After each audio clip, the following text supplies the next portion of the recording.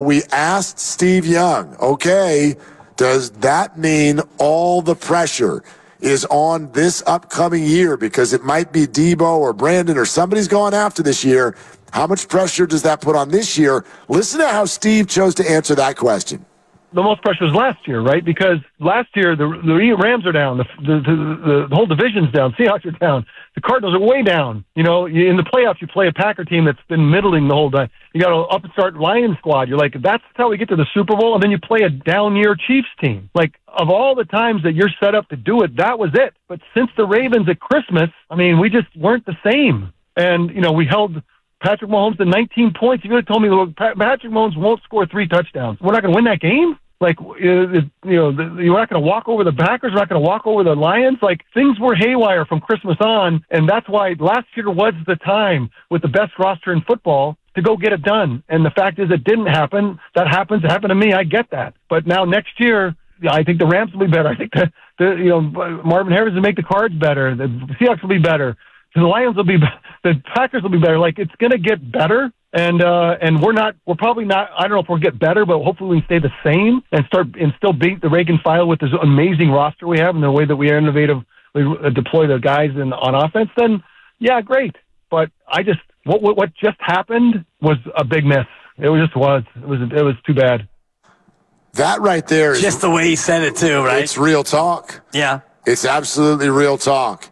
And um, you know me, like I, I, I think the world of this team, and I will never not be optimistic about it. But I'm also, and I won't use the word realistic because that's a stupid word. I hate that word when it comes to sports. Right. Um, but but what I am is aware, um, and and this season upcoming, I believe that we 49er fans are going to have a hard time at times because we are waltzing around like right now like when they put uniforms on, they win. That's just how it works. Right. Then and so we joke, we play win loss. I pulled that schedule out yesterday and we talked about it for an hour. People, that thing is hard. That's that's what that schedule is. Right. That is incredibly hard and in, in obvious ways and nuanced ways. Like you, you've talked about how many times are they playing a team that's coming off of their bye? Four. Four times. Four times. Almost a quarter of their schedule is against teams that will be coming off of a week of rest. And one of them, the Niners are coming off a mini bye because they play yep. Thursday, so they, you know, it's kind of a, a week and a half. But still, to your point, four times they play teams coming off a full week of rest. Are they going to be healthy? Don't know. Right. Like is one of the big, big debilitating injuries going to happen? Is it going to be a Purdy or a McCaffrey or a Bosa Trent Williams. or a Warner or something like that, which it wasn't last year? I know Dre in the Super Bowl, and look what happened. Yeah. The game turned. So is, is that going to be okay? What about the other teams out there? Largely the NFC was cream puff city even in places where we didn't think it was. We're like, ooh, Cowboys, Eagles, Cowboys, right. Eagles. Playoff wins, none. Both of them. Get out of here. You're both frauds. And there really wasn't much in the 49ers' way. And the teams they beat in the playoffs were very, very young. Green Bay, right. youngest team in football, and Detroit, inexperienced. And you could argue the Niners got outplayed in both of those games. Good point, yeah. Okay, and they came away victorious uh, for the reasons that they came away victorious. But but to look at this this year and go, all right, now you're matched up against the AFC East, which means a December roadie to Buffalo. Right. It means a Monday nighter against Aaron Rodgers. It means a trip to Miami to face Tyreek Hill. All of that's hard. And who's the one-off AFC team that you also play? They call themselves the Chiefs. Right. Like, oh my God, this schedule is so so difficult. Right. When you laid it out yesterday, you talked about five, two separate five game win streaks. Exactly. I can almost promise you there's no way in hell that's going to happen. Well, last year they started out 5 and 0. Uh, correct. And, you know, I put in a five game win streak after an opening week loss to the Jets, where many people coming at me on Twitter, oh, Dibs, you're an idiot, and the Jets this and the Jets that. Steiny mentioned it in the crossover. They are favored in all 17 games. So if you go according to Vegas, they go 17 and 0. That's absurd, by It the way. is absurd. And as we get closer to some of these games, you're going to realize that you know they won't be favored in some. And I do think that that Buffalo game is a scheduled loss. The second half of a two-game road trip. Buffalo coming off of their bye. So if I was going to pick one game right now of the 17 that I would predict, if I was to bet a thousand bucks against the Niners in one singular game, that would be the game that I would bet against him right now. Exactly. Buffalo, second game of a road trip. Buffalo off a bye in December, second straight cold game on the road at Buffalo. That's the thing. That's a tough one. So when you start to look at the schedule spots, and I do think that Arizona is interesting because they're going to be better, and you go to Seattle on a Thursday night, short week for both. Well, you don't and know- Seattle's going to be better. You don't know who's going to be surprisingly good. Right. A couple of years ago, Seattle was like a deal. Like it was a thing that the 49ers had to deal with. Right. And uh, then last year they weren't. Uh, will they be again? I don't know. Are the Cardinals going to actually be a squad? I don't know. Could the Rams be really good? I could see it. I, I, I don't know that that'll happen. There will be disappointments too. You know, like we might be sitting here right now talking about the Monday Nighter against Detroit on January 2nd, and we're like, ooh, NFC Championship rematch. Detroit might, might, might regress. right. The 49ers might regress. I don't I don't know. Like so there's all these surprises. Look, expectations are inevitable, not just because the Niners are very good and have a great roster, but that's just the nature of starting a season. Um, we, we- like listen to the Dave Fleming bite that we keep playing throughout the last few weeks.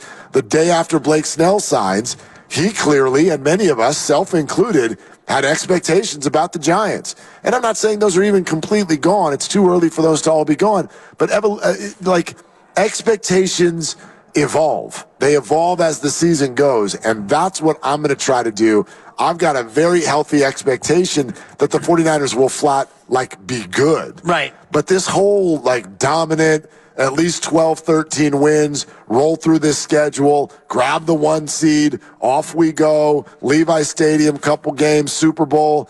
My goodness, it just like it doesn't usually work that way. It almost never works that way, especially when you look at you know how these games come up and what the the stack of the games is, and you've got eight before the bye, and you've got Kansas City coming up, and they're off a bye, and that game is before you have your bye, and also you've got Dallas coming in the last game before your bye, and they're coming off a bye. So when you start to look at all these games, when they fall in the schedule and where you're going to be, and you know, and we could talk to Alex Smith and Brock Purdy and Steve Young all about this. When you play, you know, eight straight weeks, no matter if it's a Thursday, a Sunday, a Monday, and you're going, you know, the, the routine of a game week, practice, walk through game, practice, walk through game, travel, all the rest of it, it becomes tiring and you're not going to be at your best in all those games. Uh, no question. I mean, and I saw that they uh, uh, fifth most miles in the NFL. That seems right. and, and part of that's just being a coastal team, and uh, and so you got to go back east. Uh, they go to Tampa, I think, right? They go to they go to Green Bay And go- Miami they go and to Minnesota. Buffalo, they go Yep. to Minnesota. Yep. They kind of like, yeah, those are those are big trips, but a lot of rest for teams going against them. A first place schedule. I mean, just think about the quarterbacks that this team is going to face. There are not a lot of good ones in the NFL not on the schedule. Like, who are the best quarterbacks in the NFL not on the 49ers schedule? Joe Burrow Yep, and Lamar yep. Jackson are currently not on the 49ers Justin schedule. Herbert would be uh, Okay? Justin Herbert is not on the 49ers schedule. CJ Stroud, I guess you would. I mean, Sure, we're going down Stroud, the list, yeah, right? Yeah, Jalen Hurts not on the schedule. Jalen Hurts is not on the schedule, but I mean, Jimmy Garoppolo not on the schedule. yes, he is twice. Oh, never mind. yeah, sorry about that. I was just trying to be funny. Does everybody forget? you forget that he's a Ram, He's a Rams. isn't he? He's a Ram, right? Jimmy Garoppolo's a Ram. Lucas was So you don't even reluctant. know. Yes, I had no looked at the idea. Higgin. He's like, I don't know. This is May. May, May is I, I I missed that one month. It gets tough. Like for NFL free agency, you're like, Right. wait, what? Right? I think I even heard uh, was Goo asking Spadoni earlier if he's like, is he your guy for the Raiders this year? He's like, he's not on the Raiders this year. so I'm thinking no, but I get it. Like you, you like that free agency thing. Doesn't that feel like it was five months ago? Totally. Oh, with, no. Yeah. with everything that's happened since. Right. Yeah, he's on the Rams. And a lot of that, it's like, you know, you get to August and camps are open. It's like, oh my God, that's right. Right. So and so's on so and so. Uh, you know who's on the 49ers this year? The guy who popped Aaron Rodgers' Achilles. Really? On the 49ers this year. Leonard Floyd. Leonard Floyd. Monday night, let's do it again. First Okay. game of the year. Don't, don't do that. No, you know what I'm saying? Like it's the same guy. If I were Aaron Rodgers, if I saw that schedule come out last night, I'd be like, oh God, I got to play in that game again. Yeah, bummer. And Leonard Floyd's on the other team again. That's got that's got to give him the willies a little bit. Totally. So anyway, But but just, I think your point is is well taken about the schedule and the team. And think about last year where the Niners were 5 and 0 and they won by 23, 7, 18, 19, and 32 Yeah. in their first five. Then you lost to Cleveland, Minnesota, and Cincinnati. Bibbity, bobbity, boop, Boop. as you like to say. You lost three in a row to, yeah, Cleveland was a playoff team ish. Minnesota, Kirk Cousins played phenomenal. Fine. You lost to Cincinnati in a scheduled loss, but just like that, you go from 5 and 0 and boy, undefeated, am I right? 17 and 0, it's on the table. I mean- you lost 3 in a row, whammy, and then you came out of the bye and you won 6 in a row. So you were asking me about me forecasting two 5-game win streaks? Well, yeah, because they did it last year. They won 5 in a row, Yeah. and then they won 6 in a row. They could. They but, could. But that season was, to Steve Young's point, there was a lot that went perfectly. Right. And I don't mean to say Until that. Christmas, he said. Well, right, but I don't mean to say that to make it sound like the Niners got away with one or got breaks. They were, in my opinion, the best team. That's the problem. They Yeah. were the best team and they didn't win. Yeah, and They that, that I like- think is what he's talking about in terms of breaks, is because you got you went up against a Patrick Mahomes team that was quote unquote down. Called them down. right, They won the Super Bowl. right. Well, But, but he's not wrong. Exactly. You like they were not a high-powered offense last year. Right. You did hold them to two touchdowns. In fact, in regulation, you held them to one. You you didn't have to go to Philly in January. You didn't have to worry about Dallas in January. You went through all of this and had the second half lead and had Mahomes largely under control defensively, and all of that added up to not good enough. Right. And and and certainly at least offensively, you were healthy. You got to February with Brock and Deebo and Brandon and George and Christian and Trent and Kyle and we go they're all ready to rock. And you could not get to 20 points. Right. And, and, and you did you did not win. And um, and so that's troubling because you do look at this year's schedule and I do see Jordan Love, Jared Goff, Dak Prescott, Matt Stafford twice, Patrick Mahomes, Josh Allen, Tua, Aaron Rodgers, on and on and on. That's their schedule this year. And so, uh, and, and we have no idea what Greenlaw's status will be. Right. The, this whole thing is going to be hard. So whatever that record ended up being last year, and what was it? Was it 12 and 5, I think? I know one of the games, you know, they punted there at yeah, the end against twelve the and Rams. five. Boy, I would take the under. I would take the under on the Niners win total this year. I would take the under. Under ten and a half. I saw it at 11 and a half. Okay. I wouldn't necessarily take it at under 10 and a half, but if the Niners are a 10 or 11 win team this year, that would not surprise me. And by the way, if they're an 11 win team, I'll take it. If you offer me that right now, I'll take it. And I know how some people Yeah. will, will receive that because you're like, they're better than that. And it's like, it's not that they're not better than that. 11 and 6 is a really good record. There are a ton of good teams. 11 and 6 means you will be playing in January and you will have your- Yeah, you probably are playing that first weekend, but you're probably Maybe hosting. 11 and 6. I don't pro- think eleven and six gets the bye. Uh, well, 12 and 5 did this year. So 11 and 6 is on the table for the bye, for sure. Yeah. I don't see, you know what I mean? Like, I don't see an NFC team where you're like, that team's definitely doing 12 or 13 wins this year. Yeah, I'd have I to don't- look at Detroit's schedule, and you know, outside of Detroit, I mean, you look at Philly and Dallas, that division is not going to be Yeah. a cupcake, no cakewalk, and nobody in the South, I think, is dominant enough to really run the table at that level. I think the NFC is a little bit of a mishmash, so. And by the way, just asking the Niners to go get the bye, like, uh, that's a lot to ask. One team gets the bye. Right. So, yeah, they may be the two seed. They may be the three seed. I don't think that's the end of the world. Um, but Well, it was two years ago. Well, it was you- the end of days, and Brock Purdy's arm fell off. does the arm fall off if Sorry, you're at Brock. home? You know, I, I, Right. I, like I don't, I don't know. I'm not going to put that on not being the one seed. The bottom line is, is I just know that this is going to be a whole thing. This is going to be an experience and, and twists and turns and injuries and frustration to to just assume 12 or 13 wins when you just like what, what with what we just read off in your way all the rest all the travel all the cold the, Sure. the green bay the buffalo back to back Ah, i mean th- th- this thing's gonna be hard It's of course it's going to be hard, and I think you don't have to look much further than the division and see that uh, Arizona is better. Seattle is not worse; they might be better with a new defensive coordinator, and the Rams are still a very good team. They're they're very much a factor, and that's sixty or seventeen games are against divisional teams that are, you know, not pushovers by by any stretch. So just your your very divisional games, I think, are going to be tough in and of themselves. And then you, you talk about all the difficult games out of conference and, you know, the one off games, Tampa and Dallas and Kansas City. Those are your three one offs. And then you have the AFC East and the NFC North.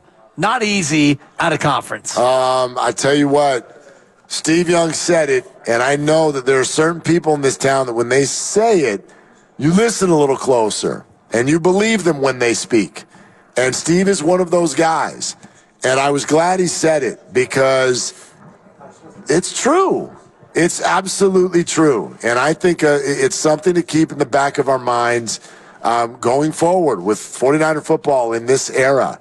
Um, it's hard to imagine this upcoming season sort of laying out for the Niners the way this one did. It's hard to imagine. Doesn't mean they can't win. Doesn't mean that it won't end up going better. But, God, man, they should have had it. They should have. They should have. And if you think about last year, just you know, while we're we're talking about what Steve Young had to say, if you want to talk about what went right versus what went wrong, what really went wrong last year in the season? Uh, well, you say in the season, which kind of my the first answer I was going to say was Dre Greenlaw Okay, tearing his. Achilles on the sideline. That's in the second half of the final Yeah. game that you actually were able to What- get to. I'm thinking about the run up in the regular season. Uh, uh, what went really? I mean, McCaffrey healthy, Deebo mostly healthy, I- Brandon healthy, George healthy, Trent healthy, Brock Okay. got better. This is going right? this is going to trigger a bunch of people. Okay. But it's the first answer that comes to mind. Um, the hiring of Steve Wilkes. yeah. Okay. And I don't mean that to blame Steve Wilkes.